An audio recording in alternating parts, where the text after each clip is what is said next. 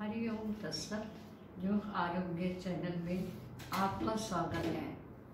मैं डॉक्टर मनीषा भारती, आज आपको योग का एक अत्यंत ही सरल और प्रभावशाली अभ्यास, व्यान मुद्रा के बारे में बताने जा रही हूँ।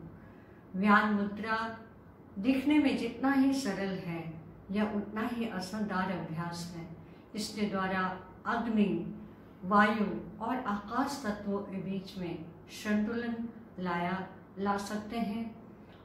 अतः यह अभ्यास हमारे पूरे शरीर में रक्त प्रवाह को सुचारू करता है। साथ ही साथ रक्तचाप चाहे वह उच्च हो या निम्न हो, दोनों ही स्थितियों में यह रक्तचाप को सामान्य बनाने में मददगार है। साथ ही साथ यह वात पित्त और कफ के दोषों को भी दूर करता है।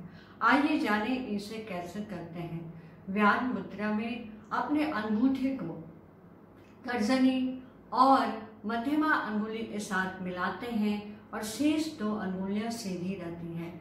इसी प्रकार दूसरे हाथ से भी इस प्रकार व्यान की मुद्रा बनाते हैं और इसे 30 मिनट सुबह और 30 मिनट शाम में करने से आपको इसका पर्याप्त लाभ मिलेगा और आप इसे महसूस करेंगे कि कुछ ही दिनों में रक्तचाप सामान्य हो गया।